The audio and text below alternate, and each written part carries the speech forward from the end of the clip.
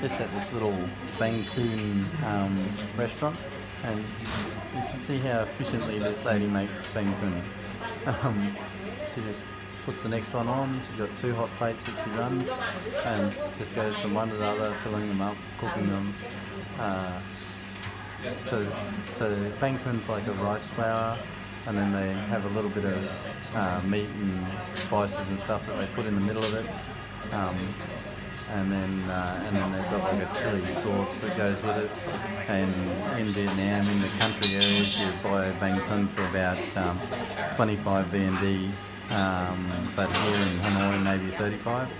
Uh, and they've got the rice mill over there, milling the milling the flour into into like milling the rice into into flour. So um, uh, yeah. So anyway, that's just another interesting thing about Vietnam. Like, comment, subscribe, share. This is our honeymoon. Uh, Tom Sol Chad. And here's our food all turned up here. So, Kun, uh, gì này? Nem. Nem. What? Nem. Name what? Nem. Nem. Nem. Ah, okay. And these are like uh, sugar cane sticks run up through the middle.